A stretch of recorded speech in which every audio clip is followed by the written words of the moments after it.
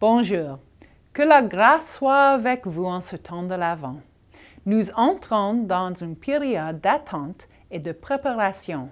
Préparation à la naissance du Messie, l'incarnation de l'amour de Dieu envers le monde. Il existe de nombreuses façons de vivre l'Avent, de préparer notre cœur et notre vie en vue de recevoir ce merveilleux cadeau.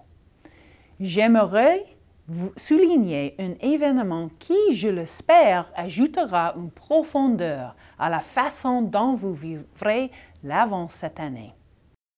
Pendant cette période de l'Avent, l'attention du monde entier sera rivée sur Paris, où se déroulera la conférence sur les changements climatiques.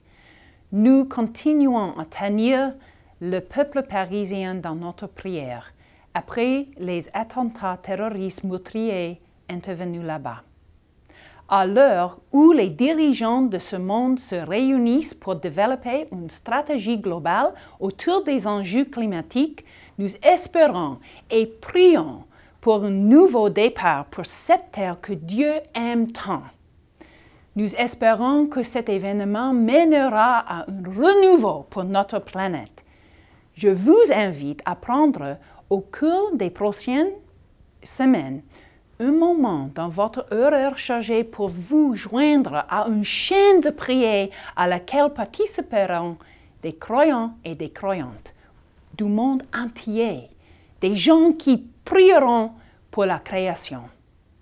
Toutes et tous ensemble, dans l'amour et l'espérance, nous pourrons aider à mettre au monde un esprit de paix et de guérison. Quelle que soit la façon dont vous vous préparerez pour accueillir une fois de plus le Christ parmi nous, puissiez-vous être touché par la grâce de l'avant dans votre vie. C'est là ma souhaite pour vous tous et toutes.